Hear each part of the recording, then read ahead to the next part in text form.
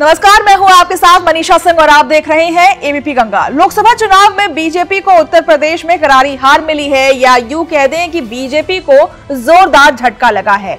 इतनी बड़ी हार का अंदाज़ा तो पार्टी को दूर दूर तक नहीं था। पार्टी लगातार सोच विचार में है, आखिर ऐसा क्या हो गया? वोटरों ने अपना मन बदल लिया, जिसके बाद से पार्टी प्रदेश में अपनी हार की समीक्षा में जुट गई है।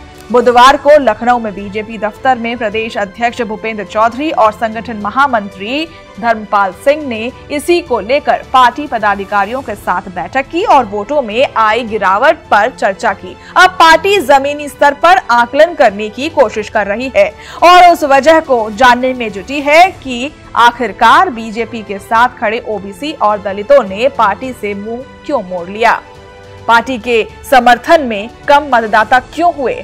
क्या पार्टी में किसी अंदरूनी कलह के चलते ऐसा हुआ? या फिर इसके पीछे कोई और वजह है? या फिर किसी पार्टी ने बीजेपी की कोर वोट बैंक पर सेंधमारी की है? उत्तर प्रदेश में इस बार बीजेपी के वोट प्रतिशत में 9 फ़ीसद तक की गिरावट आई है, जिससे पार्टी में हड़कंप मचा हुआ है। केंद्र में बीजेपी को पूर्ण बहुमत नहीं मिलने की सबसे बड़ी वजह उत्तर प्रदेश ही है। बीजेपी अब हार की समीक्षा और जाँच के लिए नेताओं की एक टास्क फोर्स बनाएगी, जिसमें 60 से ज़्यादा सदस्यों का चयन किया जाएगा।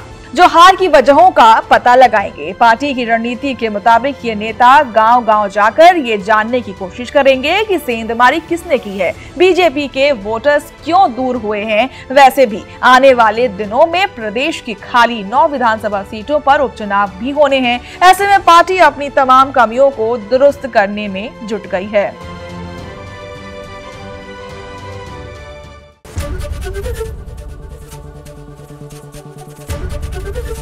एबीपी गंगा खबर आपकी जुबा आपकी।